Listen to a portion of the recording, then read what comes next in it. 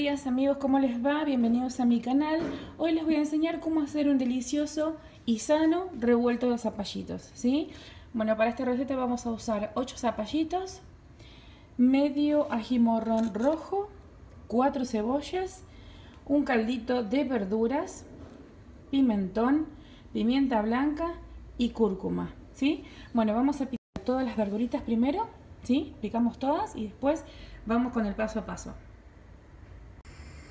Bueno, en una sartén voy a poner un poquito de aceite. ¿Sí? Y en ese aceite vamos a poner a freír la cebolla con el ají cortados bien chiquititos. ¿Sí? Los vamos a poner adentro y los vamos a dejar que se frían hasta que queden doraditos. Lo dejamos que se fría bastante. ¿Sí? Para eso también lo vamos a tomar, tomar un poquito porque como se dieron cuenta, no le puse mucho aceite y con ese aceite voy a cocinar los 8 zapallitos también. Entonces lo que vamos a hacer es taparlo, ¿sí? Para que se cocine también un poquito con el vapor. Con el vapor. Mientras voy a cortar todos los zapallitos. Bueno, una vez que la cebolla ya está un poquito cocida, ¿sí? Le vamos a agregar todos los zapallitos, ¿sí? Y bien picaditos, como pueden ver, ¿sí? Y lo vamos a mezclar todo. Mezclamos bien y vamos a tapar como hicimos con la cebolla y el ají para que siga cocinando. Una vez que esto está un poquito cocido un poquito blandito que ya se reduce un poco le vamos a agregar los condimentos. Vamos a tapar y vamos a dejar cocinar así hasta que estén bien blanditos. Bueno Mientras esto se cocina, yo en una tacita aparte puse el caldito, ¿sí? Media tacita de agua bien, bien calentita. Lo que voy a hacer ahora es agregarlo al caldito, a los zapallitos y dejarlo que se cocine así, más o menos bastante, media horita por lo menos, ¿sí? Cosa que esto se reduzca a la mitad. Vamos a poner el caldo.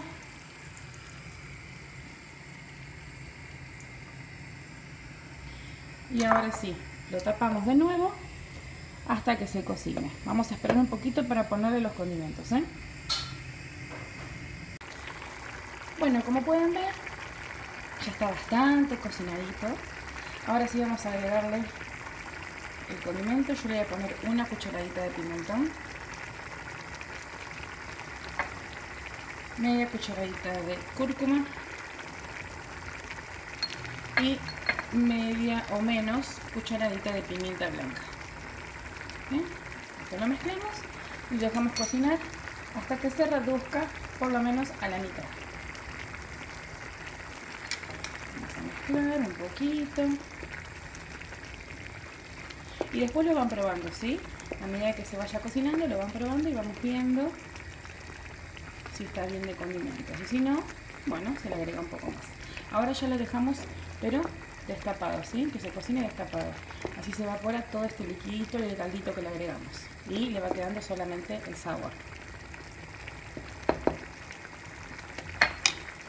El zapallito ya está perfectamente listo. ¿Bien? Apenitas, apenitas. Le queda un poquito de líquido, pero bueno, el zapallito tiene un poquito de agua también. El condimento está perfecto. Yo no le voy a agregar más porque después yo lo que voy a hacer es guardarlo en un papel e ir sacando todos los días una porción. Le agrego un huevito y lo hago revuelto con ese huevito. Y así lo acompaño con una pechuguita de pollo o con un pedazo de carne. ¿Sí? Así que nada, esto ya está listo, lo vamos a apagar y lo vamos a poner en un tupper y ahí se los voy a mostrar. Y ahora sí, mis amigos, miren qué rico y delicioso que se ve este revuelto de zapallitos.